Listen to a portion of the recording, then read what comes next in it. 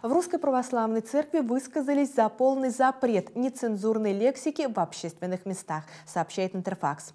Я согласен с нашим министром культуры и со многими другими, кто говорит, что подобного рода лексика должна быть вообще исключена из публичного пространства. Я даже считаю, что за произнесение матерных слов в публичных местах нужно людей штрафовать. И я думаю, что это бы отрезвило некоторых любителей матерной лексики, заявил глава синодального отдела внешних церковных связей митрополит Иларион.